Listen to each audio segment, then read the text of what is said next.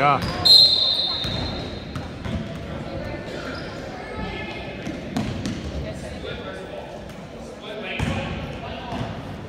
Oh, we went to Oak Meadow actually. I've been up there except for breakfast on a Sunday morning. We're there all the time. We are in the summer. It's just easy and handy, and you don't have any crowds, and the food. A lot of times the food is excellent. and Sometimes it's just I don't know how they. I mean, they just never have anybody no. But they say they're doing great.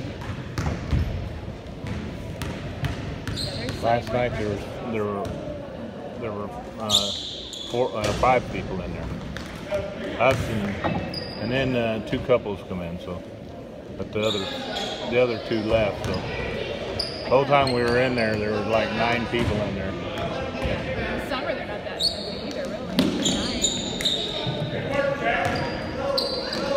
Yeah, But but it's handy for us. I mean, we can go in and drink a bottle of wine and not worry about driving home. You know.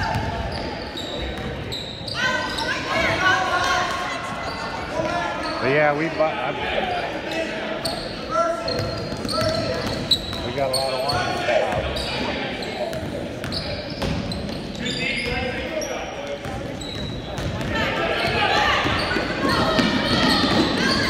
Where'd it get wet? wine fridges. I just got another one coming in Tuesday. You, do you get? I got a uh, Euro cave from Costco.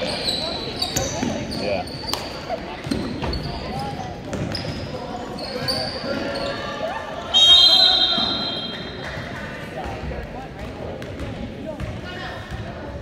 This, this one holds 200. No, it's just a Euro. That's pro- supposed to be a good one. It's a